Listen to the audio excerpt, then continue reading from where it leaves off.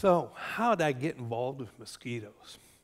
Well, as a kid, like a lot of kids, I loved insects, and I used to go out, catch jars of lightning bugs, organize cicada uh, hunts. Um, but you know, with a name like Ritchie, I got a nickname, Itchy Ritchie. And I guess it was preordained I was going to end up working on mosquitoes. So I went to Iowa State University in Ames, Iowa, and I got a bachelor's degree and a master's degree, and um, worked under a guy who worked on mosquitoes. My first job controlling mosquitoes, I like that term controlling, it usually means killing or nuking them. I drove an El Camino ute or pickup truck that had a fogger in the back to fog and kill mosquitoes in the park. So that El Camino was a lot sexier than the Gran Torino Clint. And then I moved to Florida. And in Florida, it was a little town called Naples, Florida. It was adjacent to the Everglades. And believe me, millions and millions of mosquitoes would fly into town. And so we had to kill mosquitoes in a very big way. We had a fleet of DC 3s that fogged for mosquitoes. It, it was absolutely amazing. And then I moved to North Queensland. I saw the light. And North Queensland has tropical diseases, and dengue fever is one of them. And dengue fever is caused by a virus carried by the dengue mosquito, and that's, that's a upside, dead dengue mosquito behind me. And um, we get outbreaks in Cairns every summer. We might get 500 cases. A couple of some few summers ago, we had 1,000 cases. Globally, dengue's much bigger. You know, it, it's around 100 million cases of the worst flu you've ever had. So for two weeks, you might be knocked down, such pain. They used to call it breakbone fever, and it kills people too. And so um, I ran for Queensland Health, I ran the dengue control program. And this was our main weapon this pneumatic pump sprayer. I know it looks fairly innocuous, and it relatively is, but you, we used to go inside people's houses because the mosquito loved to come in those lovely open Queenslanders we just heard about. And they would hide, you know, in the wardrobes, under tables, dark, shady areas, under beds. I, I think there might be a couple of you whose uh, bedrooms I've sprayed around in. But things have changed. I'm now at James Cook University, and I manage a facility called a Mosquito Research Facility. And that photo on the left there is of Claire Omaday, who used to be my manager at the Mosquito Research Facility. And each one of those buckets has 500 Aedes aegypti or dengue mosquitoes in it. And that picture on the right, I know it's not a pretty sight, and I know you're not thinking about sex when you look at that one. But that, that's my leg, and I'm letting mosquitoes feed on it. And what happens to all these mosquitoes that we feed? So, a little cup like this, we give hundreds of cups of mosquitoes to a group called Eliminate Dengue, and they have a van and they go around and they release cups of mosquitoes in neighborhoods of Cairns. And here's a picture of a fellow releasing a cup full of mosquitoes right outside my house. So, I mean, this is really strange. And how do we go from this paradigm shift for dengue control of, you know, spray them and slay them on one hand to rear and release on the other hand? So I think it's sort of symbolized by this photograph of an emerging Aedes aegypti mosquito taken by my friend Paul Zborowski. And it's a mosquito, I know, it's deadly, but gee whiz, it's beautiful and it's, it's elegant. And the solution, the new solution to dengue control is actually amazingly elegant in its simplicity. And it starts with this it's a little bacteria called Wolbachia. And this bacteria is extremely common. 60, 70% of insect species globally have Wolbachia in them. So it's not really exotic. And that includes some of our favorite insects like this Cairns birdwing butterfly. But unfortunately, Aedes aegypti, the dengue mosquito, does not have Wolbachia. So Professor Scott O'Neill of the University of Queensland and, for, and now at Monash University thought maybe we could use this Wolbachia. Maybe we could get it inside the dengue mosquito and we'll see what happens. Who knows? We might get lucky. And they injected, you can imagine, injecting bacteria inside mosquito eggs. It took about 8,000 goes before they got one to take. But they finally did. And what, what it did was pretty amazing. There were two things it did that really helped change the way we think about controlling dengue. The first thing is dengue virus replicates inside the mosquito. So when a mosquito feeds on someone, say you've come back from Bali and you've got dengue, and when that dengue mosquito feeds on you, um, it's not like a dirty needle, it just goes and bites the next person. The virus has to replicate inside that mosquito, get from the stomach to the other tissues, and eventually end up inside the salivary gland where it's injected in the saliva when a mosquito bites you. That takes about eight to 10 days. And in Wolbachia infected mosquitoes, the Wolbachia competes inside the cells of the mosquito for uh, nutrients that dengue virus needs. And so dengue virus doesn't really replicate. And as a result, in this cartoon, what you see is in step one, the Wolbachia infected mosquito feeds on someone with dengue. But when it goes to bite someone, after that eight to 10 day incubation period, when it goes to bite someone, they don't get infected with dengue.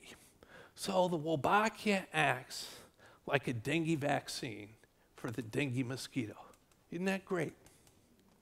The next thing about Wolbachia is the way it spreads. So here we've got a little cartoon that shows insect love, okay? So we got a girl on the left, we got a boy on the right. And the boy, the little green dots represent Wolbachia. So he is infected with Wolbachia. And when they mate and have babies, the eggs under there, they're all infertile. So when Wolbachia infected males mate with wild mosquitoes that are uninfected, it sterilizes them. Even that is a wonderful little control tool, but there's more to it. Let's look at the other crosses. Of course, when you have males and females already infected with Wolbachia, all those offspring are going to end up having Wolbachia. That's, that's pretty obvious. However, section C there on the right, when you have the female infected with Wolbachia that mates with a male that's uninfected, all the offspring end up infected with Wolbachia. So you can see where we're going with this. You're going to end up with this thing spreading naturally. So Professor O'Neill thought, wow, this is great. This could be real powerful green way of controlling dengue. And he approached the Bill Melinda Gates Foundation, Grand Challenges in Global in Health, and we got funding for this project. And I was asked to be part of the team to develop this method. And of course, before you run, you've got to be able to walk. And so, in order to do a proof of concept, we did it inside of a cage. And we built a cage.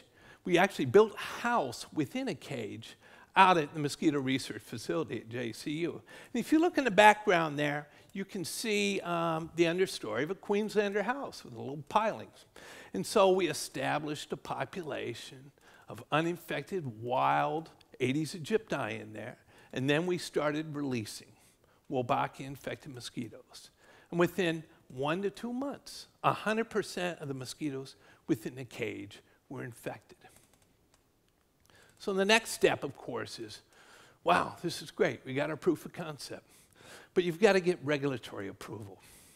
So you've got to prove, first of all, that it's safe, it's not going to spread in the environment. If a, if a spider eats a dengue mosquito infected with Wolbachia, is a spider going to end up infected with Wolbachia? Will it kill the spider? Those tests were done. If you get bit by a mosquito that has Wolbachia, are you going to get Wolbachia injected inside you? The answer is no. And also, it's not a genetically modified organism, so it's a biological control. It really is a green solution. So we got approvals from regulatory authorities in Australia. But then you've got the most cynical group of all, the public. You know, people are skeptical and cynical. And we all know here in North Queensland, we've all heard about the cane toad. Now, the cane toad is, is uh, a toad that was brought in to Australia. It's native to South America. It was brought in to control the cane grub. Now, the cane grub is, is a scarab beetle larvae that's under the ground. It eats the roots of sugar cane, and then the cane will fall over and it kills it. Big economic loss. And um, of course, they thought, we'll bring these toads in, they'll eat them. And what would happen? You know, the grubs are under the ground, the toads are on the surface. Now, the two will meet. so what do the toads do? They eat everything else they can get their mouths on, you know. So they ate all kinds of other insects, little amphibians and so forth.